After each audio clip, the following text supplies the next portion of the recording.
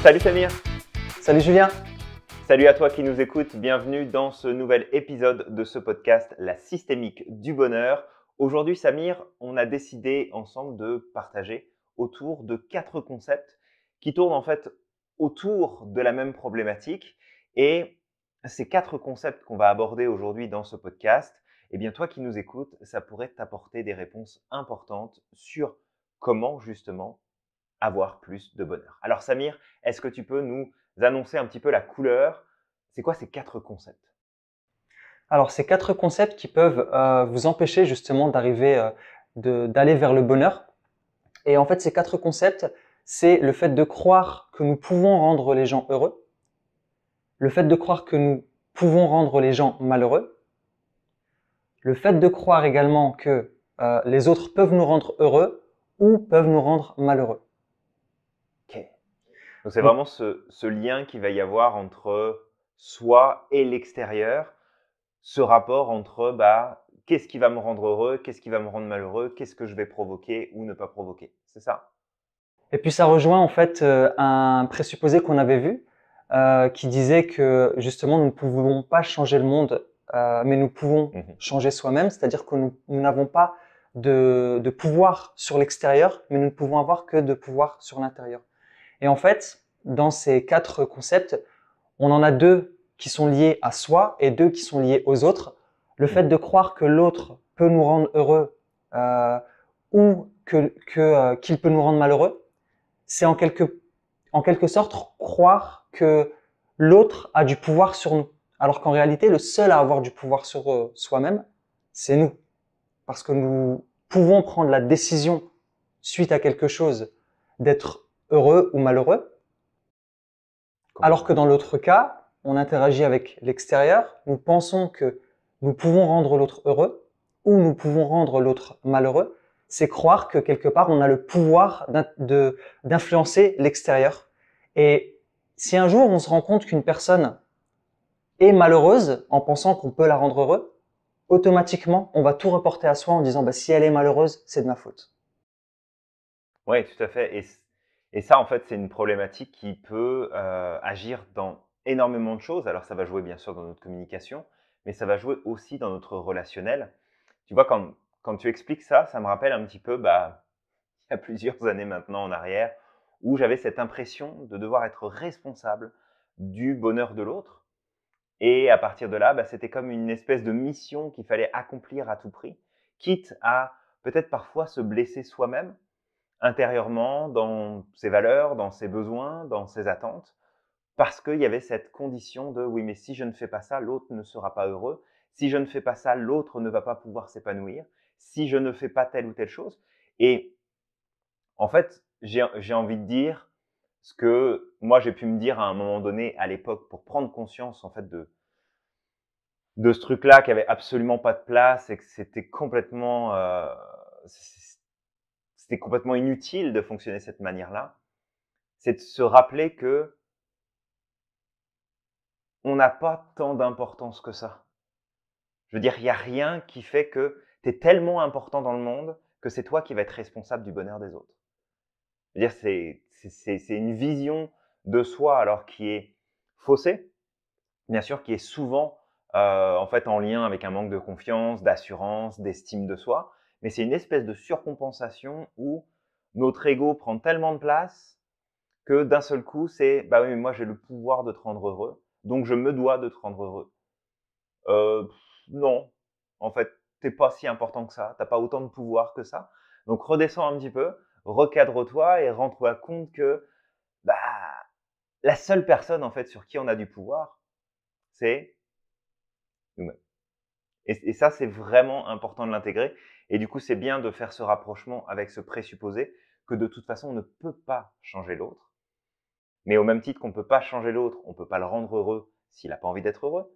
Mais on ne peut pas lui faire du mal non plus, spécifiquement. Alors, on peut blesser quelqu'un, bien sûr. On peut euh, faire que, on va dire, ou on va avoir des attitudes ou des comportements qui vont pas correspondre à la personne, qui vont pas respecter ses besoins, ses valeurs. Donc tout ça, c'est possible. Mais je veux dire, tu peux pas dire à quelqu'un, écoute, je suis malheureux à cause de toi. Comme tu peux pas dire à quelqu'un non plus, bah, je suis heureux à cause de toi ou grâce à toi. Parce qu'on met une responsabilité sur les épaules de l'autre. Et en fait, la personne n'a absolument pas cette responsabilité-là. C'est super intéressant ce que tu dis. Et, euh, c'est vrai, effectivement, c'est un peu mettre euh, un gros poids sur l'épaule de l'autre. Mais aussi vis-à-vis de soi-même, c'est devenir assisté quelque part. C'est un petit peu comme si on était dépendant des autres. Notre bonheur dépend des autres. Et à partir du moment où notre bonheur dépend des autres, en sachant qu'en fait on n'a pas réellement d'impact sur les autres, l'autre ne va jamais réagir à 100% comme on veut qu'il réagisse parce qu'il a une autre carte du monde, parce qu'il a d'autres soucis, parce que euh, il a une vie qui, est totalement différente. Et donner cette responsabilité à l'autre, mais également se soumettre aux actes d'autrui, bah, c'est quelque part perdre sa liberté et euh, se priver du bonheur. Et du coup, Samir, ça me fait penser à cet instant que, tu vois, quand tu utilises ce terme assister, on devient, on devient dépendant, on devient dépendant de l'autre. Notre propre bonheur dépend aussi de celui de l'autre. Parce que si je n'arrive pas à te rendre heureux, bah, moi aussi, je vais être malheureux à cause de ça, parce que je vais me sentir coupable. Donc ça, ça peut devenir très vite compliqué. Et puis, il y a aussi cette notion que quelque part, on perd complètement notre pouvoir quand on vient mettre cette responsabilité sur les épaules des autres, ou qu'on prend nous-mêmes cette responsabilité, parce que, en fait, on ne peut pas agir sur ces éléments-là en direct. On n'a pas le pouvoir de rendre l'autre heureux, l'autre n'a pas le pouvoir de nous rendre heureux. Par contre, faut pas oublier qu'on a le pouvoir d'agir et de créer un environnement qui sera propice à ce que l'autre et soi-même, on puisse générer du bonheur, vivre du bonheur, s'épanouir, parce que ça, on a du contrôle là-dessus. Si tu es avec quelqu'un aujourd'hui, tu as tes proches, tu as ta famille, tu as tes amis, bon, bah, qu'est-ce qui va faire qu'il y a du bonheur qui va naître de ces relations-là? C'est déjà d'une, parce que toi, tu vas être capable de générer ton propre bonheur, parce que si tu n'es pas heureux, tu rendras personne heureux autour de toi, c'est impossible. Tu vas pas pouvoir laisser transparaître et transmettre ce bonheur-là autour de toi. Mais en même temps, si tu es aligné avec les gens qui sont autour de toi, tu partages des valeurs communes, s'il y a des besoins qui sont écoutés et respectés, s'il y a tout un cadre qui permet en fait à l'autre de s'épanouir, alors dans ce cas-là, tu vas pouvoir contribuer au bonheur de l'autre, mais tu n'en seras pas responsable. Tu n'en seras jamais responsable. Et ça, c'est valable que ce soit ton conjoint, ta conjointe, que ce soit tes enfants, que ce soit tes parents, que ce soit ta famille, tes amis. C'est jamais de ta responsabilité. Créer le cadre, oui. Contribuer au cadre, oui mais ça n'ira jamais plus loin que ça. C'est ça, exactement. Et, du coup, bah, pour rebondir sur l'autre présupposé, on avait dit que là, le fait de remettre le bonheur dans la main d'autrui ou de penser justement qu'on peut être euh, à l'origine du bonheur chez l'autre, mhm. c'est quelque part soit être responsable ou assisté, en fonction de la position qu'on prend, en fonction du, mythe qu'on comprend. Et L'autre, par contre, où on pense qu'on peut rendre l'autre malheureux ou que l'autre peut nous rendre malheureux, là, en fait, on ne prend pas la position d'assister, mais on va prendre plus la position de victime ou de persécuteur. En pensant que bah, si l'autre peut me rendre malheureux, bah, je deviens sa victime. Et quelque part, quand on est une victime, on n'a plus la possibilité d'agir sur son environnement. Alors, bien sûr, on peut être victime de, de, soucis et, ou, ou d'événements, ça c'est tout à fait tout à fait vrai. Mais le fait de s'entretenir dans cette position de victime toute sa vie, Tout à fait. ben, c'est un peu perdre son pouvoir et ne pas pouvoir avancer. Complètement. Et même si ça peut paraître peut-être comme ça d'emblée un petit peu euh, un petit peu fort de dire les choses comme ça, mais si peut-être aujourd'hui toi qui nous écoutes ou tu connais des personnes qui sont dans cette dynamique où Écoute, moi, je suis malheureux dans ma vie parce que euh, mes parents m'ont fait ça, mon père m'a fait vivre telle chose, euh, mon grand-père m'a traité de telle façon, euh, j'ai eu un mari ou une femme pendant 10-15 ans et voilà ce que j'ai vécu. Bon, ben, on, va recadrer un petit peu.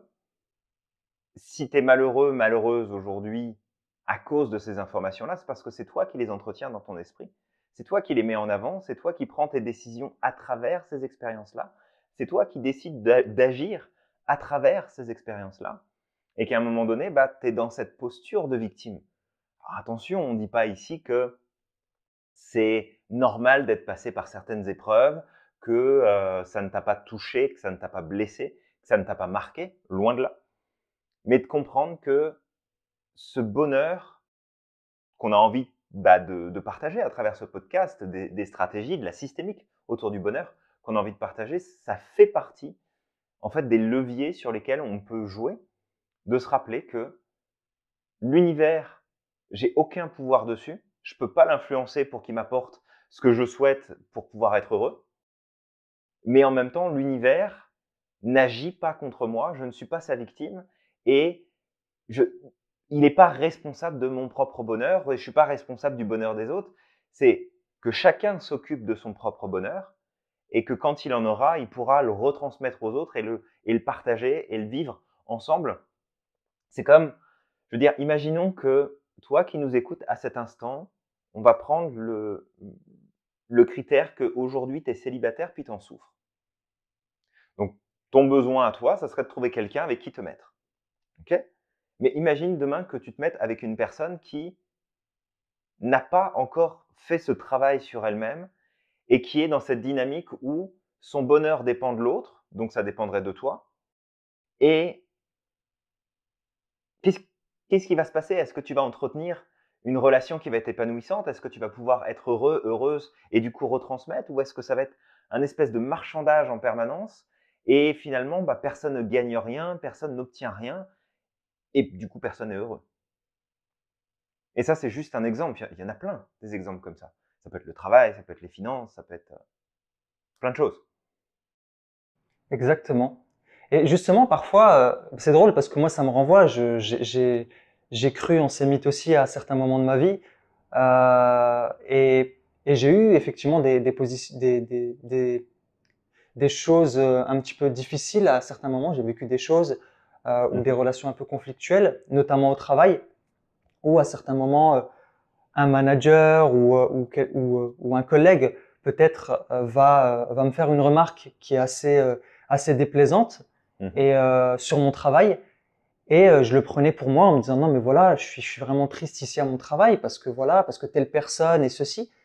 Et, et en fait, quelque part, après, on, on tombe dans cette espèce de, de cercle de victimes. En tout cas, c'est ce qui m'est arrivé.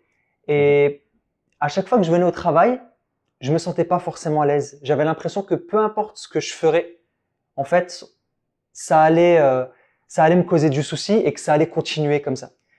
Et en réalité, ce qui, effectivement, aujourd'hui, avec le recul que j'ai, avec euh, euh, l'expérience que, j'ai, j'ai acquis ces, dernières années, bah, je me rends compte que finalement, c'est juste peut-être la position que j'avais, la position de victime, qui fait que je mettais aussi ceux que je considérais comme des persécuteurs en position haute. Mmh, Et en tant que victime, ben, j'étais tout en bas. Alors que ce qu'il aurait fallu faire, c'est que effectivement, je quitte cette position de victime, que je remonte et que je me mette au niveau de la personne. Et à ce moment-là, j'aurais eu les capacités peut-être parce que je considérais qu'il y avait des injustices, mais je me défendais pas forcément puisque j'étais une victime. Je demandais aux autres de me sauver, mais les autres ils peuvent mmh. pas me sauver, ils ont leurs propres problèmes.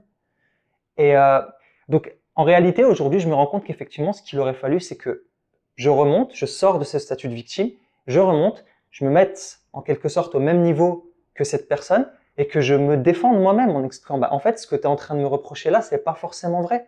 Parce que regarde ce que je fais, regarde ce que je fais. Et puis, si la personne s'entête, eh ben, j'agis, euh, j'agis euh, en tant que personne responsable. Et puis, je peux la laisser, euh, je peux la laisser se plaindre si elle le souhaite il n'y a aucun problème. Moi, je fais mon travail, je suis fier de moi, pas de souci. Mais euh, encore une fois, c'est toujours une, histoire de position. Et parfois, en fait, si les problèmes durent, en tout cas quand on a des problèmes avec les autres, faut se demander justement quelle position on a. Est-ce qu'on n'est pas en position basse justement et que peut-être il faudrait qu'on se mette au niveau de la personne? Et en tout cas, ça change les choses.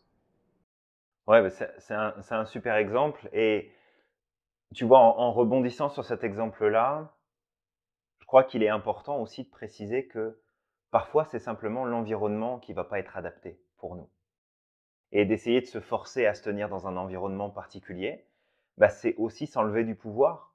Parce que il y a cette, euh, il y a cette citation d'Eleanor Roosevelt que j'aime beaucoup. Alors j'ai plus les termes exacts, mais l'idée elle est là, c'est que l'autre ne peut te faire du mal que si tu l'autorises à te faire du mal. Alors, on s'entend que si tu prends une claque, tu l'as pas demandé, tu l'as pas autorisé, tu la prends quand même. Mais là, on parle plus d'une souffrance intérieure, une souffrance émotionnelle, psychologique. c'est parce que tu as laissé une porte ouverte et tu laisses certains comportements agir sur toi. Donc c'est pas que l'autre a le pouvoir de te blesser ou l'autre a le pouvoir de, de te rendre malheureux ou de te faire du mal. C'est parce que toi, quelle est effectivement la posture que tu prends? Et des fois, changer de posture ou te remettre au bon niveau, comme, comme tu dis, Samir, c'est aussi prendre tes responsabilités et dire, bah, en fait, je me rends compte que cette relation, cet environnement, cette situation-là, c'est pas pour moi. Et tous les efforts que je pourrais mettre à essayer de changer ça, ça ne fonctionnera pas parce que je ne peux pas changer l'autre. Il n'y a que l'autre qui peut changer lui-même. Je ne peux pas changer la situation, je ne, je ne peux pas changer mon environnement.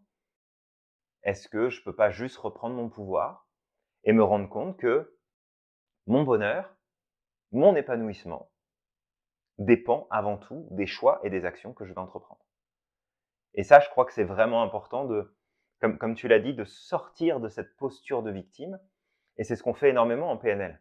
On accompagne notre client, notre cliente à prendre conscience que peut-être que dans sa façon de voir les choses, de les réfléchir, de se penser dans cette situation, d'envisager sous un angle spécifique, peut-être que c'est ça qui est la cause de la, de la problématique, de la difficulté qui est rencontrée.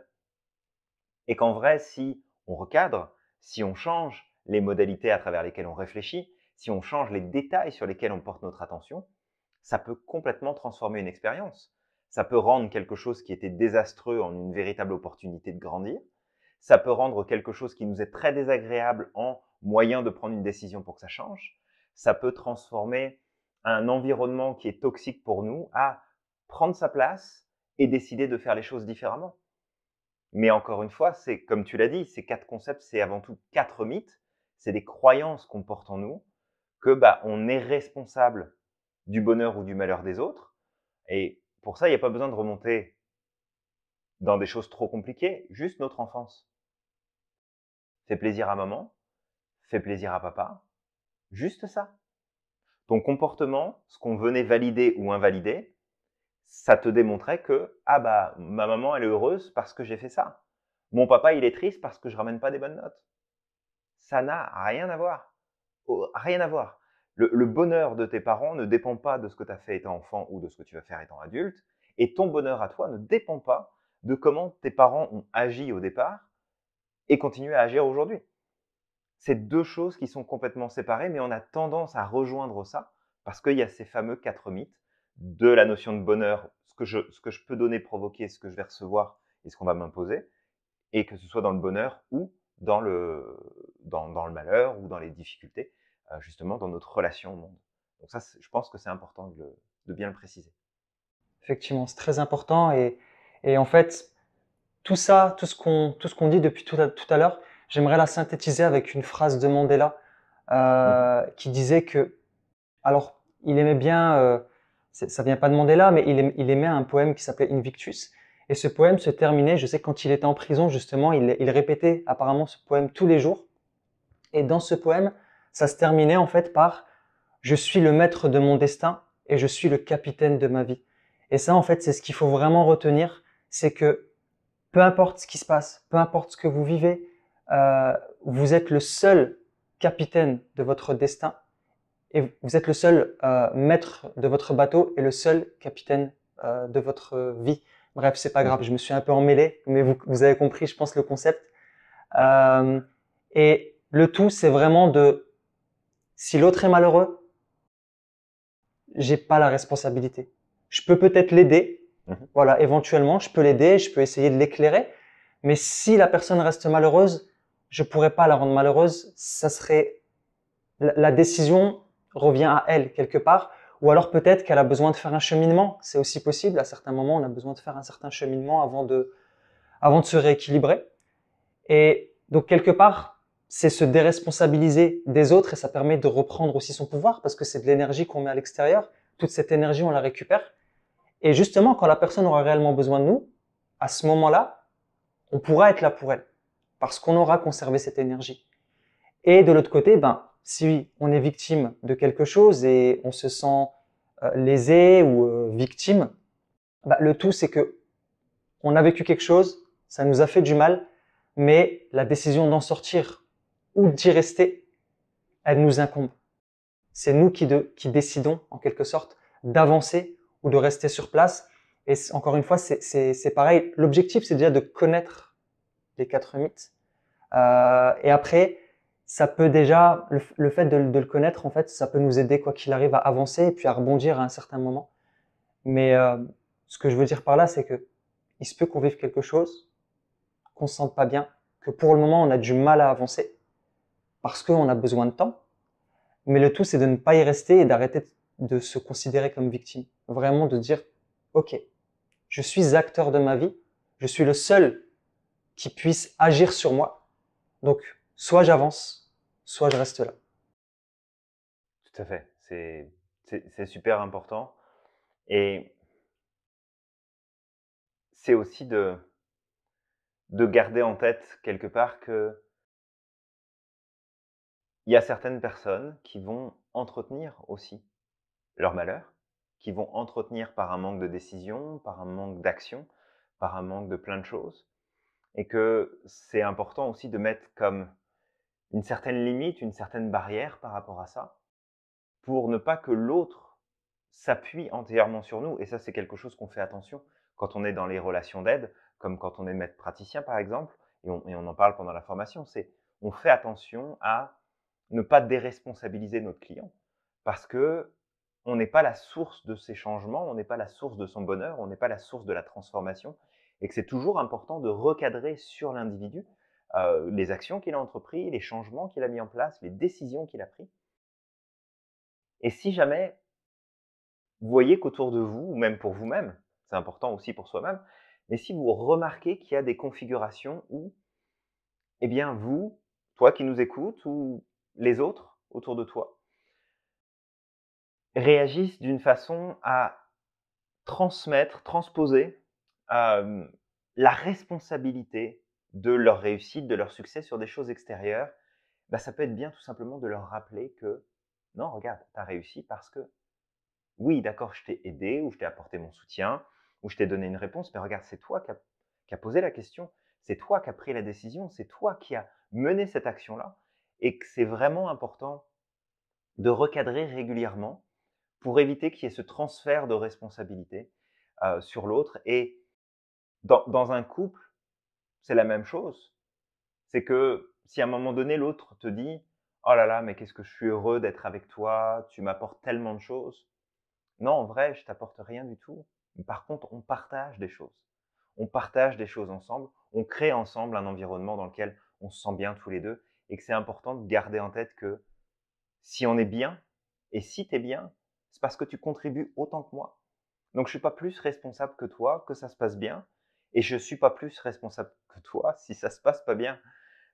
c'est vraiment important de comprendre que quelle que soit la situation, bah oui, il y a des interactions, oui, il y a des choses qui peuvent être plus ou moins adaptées pour nous, puis il y a des environnements qui sont toxiques pour nous, mais qui peuvent être très bons pour d'autres personnes. C'est de reprendre notre pouvoir et de laisser les autres reprendre le leur pour faire en sorte que l'autre puisse se rendre compte, bah oui, d'accord, je, suis présent, je suis à ton écoute, euh, je, t'aide, je te soutiens, mais regarde tout ce que tu fais. Ça, c'est pas moi qui ai posé cette action-là, c'est pas moi qui ai fait telle chose. Et même pour vous, de dire, bah tiens, je viens de réussir un truc, oh là, j'aurais jamais réussi sans cette personne-là. Non, prends conscience du soutien que l'autre a pu t'apporter. Mais les actions, c'est pas l'autre qui les a fait à ta place. Les décisions, c'est pas l'autre qui les a prises à ta place. Il a créé, il a, il a contribué à un contexte qui t'a aidé, mais en aucun cas il l'a fait à ta place. Et que c'est vraiment important de bien recadrer, de bien remettre en place les choses, parce que dans ce cas-là, bah, on sort de la dépendance, on sort de euh, ces positions de victime, on sort de ces, ces besoins, ou du moins l'impression qu'on a d'avoir besoin de l'autre, d'avoir besoin de certaines conditions, et on se rend compte du pouvoir immense en fait qu'on porte à l'intérieur de nous et qu'on peut utiliser pour réaliser énormément de choses. Bah, du coup, on, a, on, a, on a bien fait le tour, je pense. Et bah, du coup, j'aimerais rappeler du coup que vous êtes le, seul, euh, le seul euh, capitaine de votre navire et les seuls maîtres de vos vies. Tout à fait. Complètement. Fait, c'est ça qu'on avait envie de te partager aujourd'hui dans ce podcast avec Samir. Donc, les quatre mythes qu'on t'invite à supprimer de ta tête, qu'on t'invite à oublier et à retransformer différemment. T'as pas le pouvoir de rendre les autres heureux, les autres n'ont pas le pouvoir de te rendre heureux non plus. T'as pas le pouvoir de rendre les autres malheureux, mais au même titre, les autres n'ont pas le pouvoir de te rendre malheureux. C'est toi qui as le pouvoir. Reprends-le, reprends ta place, et ça va t'apporter énormément de choses. Donc, merci pour ton écoute, merci pour ton attention. On va te retrouver très bientôt dans un prochain podcast, et on t'invite comme d'habitude à liker, à commenter, à t'abonner, à partager et bien entendu bah, de continuer à nous suivre, que ce soit en vidéo, que ce soit en podcast, que ce soit sur les groupes euh, qu'on anime avec Samir. Et surtout, crois en ton potentiel. Exact. N'oublie pas que tu es magique. À la prochaine.